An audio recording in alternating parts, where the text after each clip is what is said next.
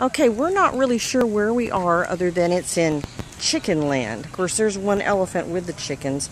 I just want you to see, and they're not even chickens, it's roosters. There are roosters everywhere. Look along the waterfront here. As far as you can see, roosters. They have sparkly roosters.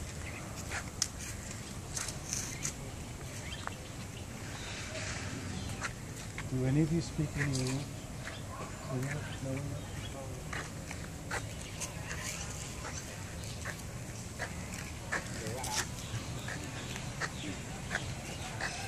And still there are roosters.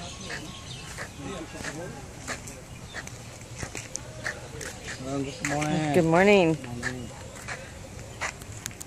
We'll begin the rooster tour yet again as I stroll along this lovely bank, passing people like Harvey taking pictures. Hello. Every once in a while there's an elephant stuck in there, but it's pretty much roosters.